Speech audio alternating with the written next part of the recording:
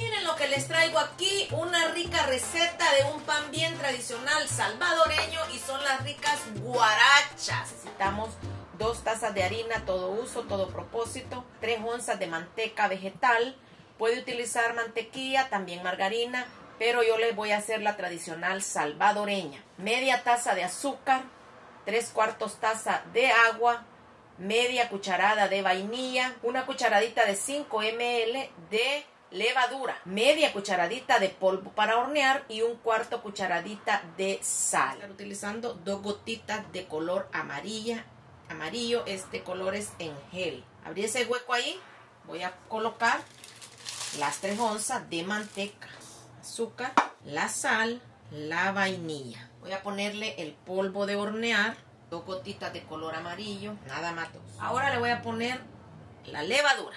No importa que ya le puse la sal porque este pan no es de crecimiento. Aquí viene la gran pregunta que todos me hacen a veces, que por qué yo utilizo levadura cuando hago las peperechas, cuando hago este el pan que es de estirar y es porque la levadura nos ayuda a estirar la masa. Si yo solo le pongo la manteca, nada más, y el polvo de hornear, me va a quedar una masa que se llama masa quebradiza. Pero si yo le pongo levadura, esa pequeña cantidad no me va a hacer crecer esta masa. Solo estoy ocupando esa pequeña cantidad de levadura para poder estirar con el rodillo las guarachas. Y el polvo de hornear tampoco es para que me levante el pan, nomás es para que tueste. Voy a empezar a, colocarle un poquito de agua y vamos a mezclar, a integrar el azúcar con la manteca y los demás ingredientes. Agregarle otro poquito de agua. Ya que le agregué todo el agua, ahora voy a meter la otra mano y voy a comenzar a revolver bien, a integrar toda la masa. Llegado, nos vamos a ayudar con una raspita de panadería, de esta forma, para comenzar un amasado por 5 minutos. Si estamos muy pegajosos de aquí, podemos ponerle una media cucharadita de harina. Y así podemos ya fácilmente amasarla. Vamos a amasar durante 5 minutos con esta parte de aquí, palma de la mano, como que estamos lavando así. 5 minutos. Bueno, quiero decirles que he amasado por 5 minutos y quiero que vean la condición de la masa. Esto lo hemos logrado con la levadura.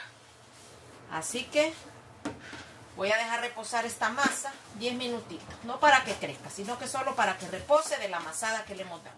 Bueno, ya pasaron 10 minutos, así que es hora de preparar ya nuestras guarachas. Y voy a estar utilizando un rodillo también. Y ya que está nuestra masa bien manejable, ya reposadita, miren cómo está. También les sugiero que hay masas, hay harinas que piden menos agua, otras que piden más agua. Si usted no, no está seguro de que le vaya a quedar bien su pan, puede irle agregando poco a poco el agua, porque a mí me ha pasado que hay harinas que piden más o otras que piden menos. Esta me pidió exactamente los tres cuartos taza de agua. Así que vamos a ir haciendo las guarachas de una forma más o menos calculando dos onzas. Bueno, yo ya puse aquí harina y vamos a comenzar a formar nuestra guarachita. Vamos a hacer aquí más o menos como en una forma redonda de una tortillita la masa para poderle estirar y que quede en una forma redondita. Bueno, ya que tenemos más o menos una forma redonda, vamos a hacerla llegar hasta acá, a doblarla, así, de esta forma. Vamos a mecerla de esta forma para irle dando la forma de guaracha. A mí me enseñaron así, hacerle así. Ya que está así,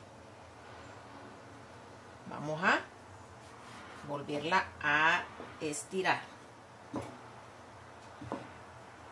Depende de la estirada que le demos a la guarachita, así nos va a quedar de crocante, de deliciosa. Esto está listo. Vamos a despegarla con mucho, mucho cuidado.